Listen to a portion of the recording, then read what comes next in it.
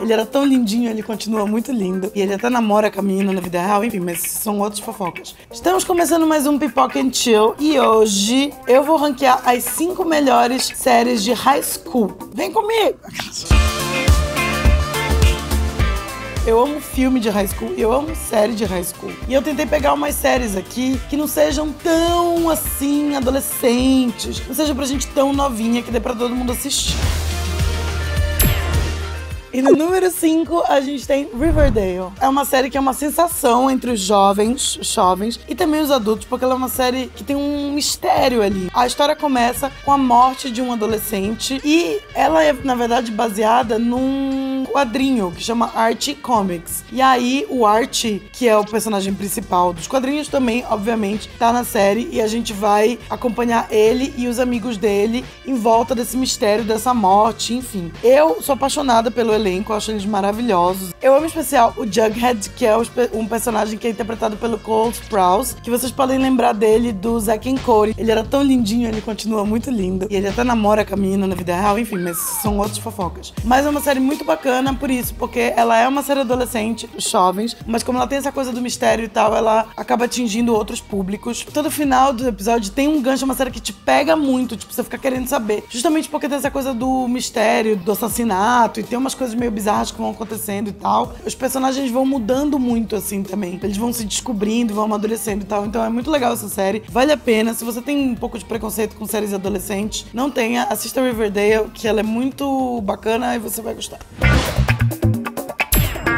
Então, agora no número 4, a gente tem uma série que marcou muito a minha vida, que é Skins. Skins é uma série britânica e ela se passa em Bristol, que é uma cidade que fica no sudoeste da Inglaterra. E aí a gente acompanha a vida de alguns jovens ali, de um grupo de amigos. E o muito legal dessa série, um é que ela não é passada nos Estados Unidos, então, tipo, você tem uma outra ideia de high school, né? Porque essa coisa de high school a gente pensa muito na forma americana. E ela é uma série mais realista, assim, no sentido de que mostra dramas mais reais. Então você tem uma personagem que ela é anoréxica, e aí aparece ela indo pra clínica, e aparece todo o drama dela com a família por causa disso e tal. Tem muita droga envolvida, então, tipo, mostra de um jeito mais real a relação do jovem com droga, com festa, com essa coisa do corpo mudando, de ele amadurecendo e tal. Mas ao mesmo tempo ela também é muito divertida, então os personagens são muito engraçados. Da primeira pra segunda temporada, o elenco muda, o que é muito legal também, porque dá uma renovada, aí você tem outras histórias. Mas é uma série que, para mim, marcou demais, demais, demais, demais a minha vida quando eu era jovem. É uma série muito legal também, tanto para quem tá nessa idade quanto quem é mais adulto. Vale super a pena assistir. Eu super recomendo Skins, ela já acabou faz um tempinho. O que é legal porque você tem todas as temporadas para maratonar. Então vai atrás de skins que você também não vai se arrepender.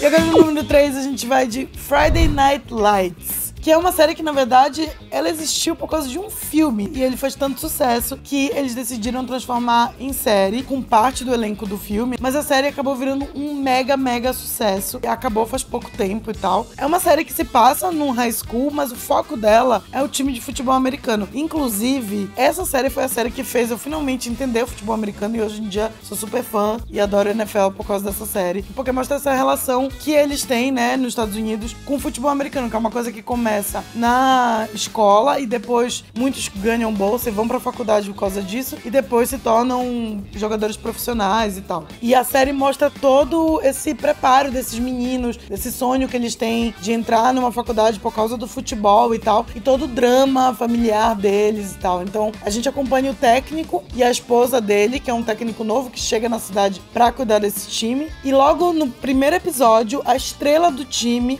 sofre um acidente durante um jogo e ele fica tetraplégico. E aí esse novo eh, técnico tem que, enfim, lidar com isso e lidar com o legado do time, que é a cidade inteira, é uma cidade pequenininha, e a cidade inteira vive por causa desse time e tal. E a gente vai acompanhando isso e a gente também acompanha a história do menino, que era um atleta super promissor e tal, já tava com tudo pronto, já tinha sido aceito em faculdade, blá blá blá, e ele fica tetraplégico e a vida dele muda da noite pro dia. Então é muito legal, uma série bem de drama, não é uma série tão adolescente assim, por mais que os personagens sejam adolescentes, mas é uma série que ganhou super muitos prêmios, enfim. Vale mega a pena assistir. Também é uma série que já acabou, então você já pode maratonar ela inteira. Vale mega a pena. Se você não gosta tanto de dramas adolescentes, jovens, e gosta de drama, vai atrás que Friday Night Lights não vai te decepcionar. número 2 tem uma série que tá quentinha, acabou de acabar a primeira temporada, tá fazendo muito sucesso, que é Euforia, que é uma série da HBO que estreou esse ano, acabou de acabar a primeira temporada. E assim como Skins, também é uma série que tem um approach mais real à vida dos adolescentes. Então, a gente acompanha a história da Rue, que é uma menina que tem um problema com drogas, ela acaba de voltar da clínica de reabilitação e ela volta pra escola e ela tem que se adaptar ali naquele mundo de novo, no mundo real, digamos assim. E é uma série que fala muito, de uma forma muito real, da relação dos adolescentes com droga, com corpo, com sexo, enfim. Ela foi até muito criticada nos Estados Unidos por causa disso. E outra curiosidade interessante também dessa série é que muitos dos atores que fazem a série não são atores. Então, a equipe de produção ficou andando por Nova York procurando jovens e eles paravam uma pessoa assim e falavam assim: Ah, você quer fazer o teste para uma série? E assim eles iam. Então, muitos dos personagens uh, principais não eram atores até então e eles são incríveis e também dá uma coisa de mais realidade, assim, por causa disso. Já foi confirmada a segunda temporada, tem muitas tendências saindo daí também, então você ainda vai ouvir muito falar de euforia, então corre logo atrás pra você não ficar boiando.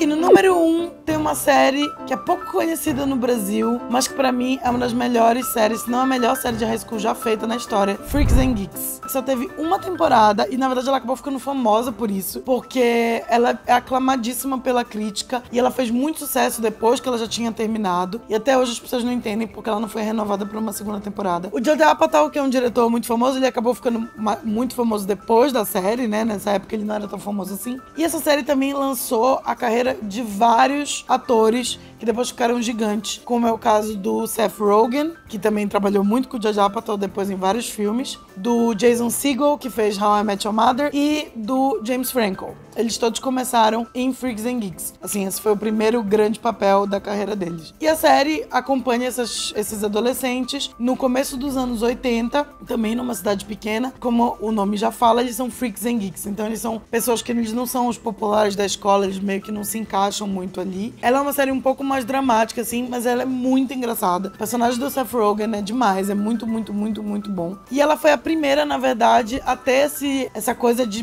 pegar um, um lado mais de drama para esse universo adolescente. Ela lembra um pouco também Anos Incríveis, que é outra série que eu também amo. Poderia ter colocado aqui, menção honrosa Anos Incríveis. É, só que as pessoas são maiores, então acaba sendo mais interessante por causa disso. Como eu falei, só tem uma temporada, mas tá aí para todo mundo assistir. Vale a pena, se acaba rapidinho. Assista Freaks and Geeks, que é um tesourinho escondido e eu tenho certeza que você vai gostar. E a pipoca de hoje, com essa temática de escola, é uma pipoca de creme de avelã. Olha que coisa maravilhosa pra você comer no lanche da tarde, depois da escola. Hum, eu tenho que terminar de comer. Como sempre, se você quiser saber como a gente fez, aqui embaixo tem a receita. E é isso essa semana. Espero que vocês tenham gostado demais dessa lista. Falem o que vocês acham que faltou nessa lista, que vocês queriam ter visto, se vocês já viram alguma dessas séries. Até o próximo sábado. Um beijo. Tchau.